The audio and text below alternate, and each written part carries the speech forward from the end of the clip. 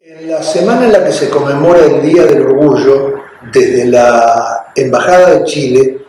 acompañamos valerosamente las acciones de visibilización y conmemoración que realiza la comunidad LGBTIQ en Chile. Eh, en el año en el que el movimiento en Chile celebra su trigésimo aniversario,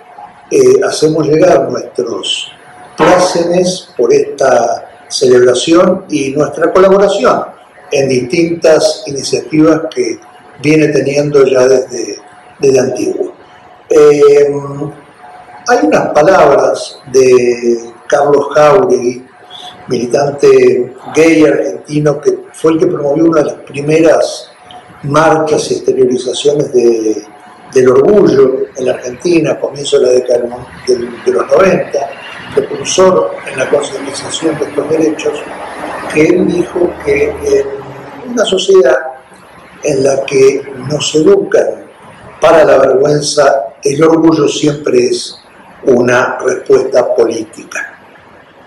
Eh, feliz celebración.